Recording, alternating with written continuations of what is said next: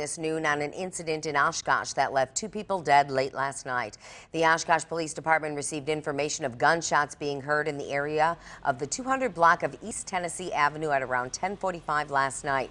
When they arrived, a 46-year-old woman from Oshkosh and a 55-year-old man from Appleton were found dead inside the home.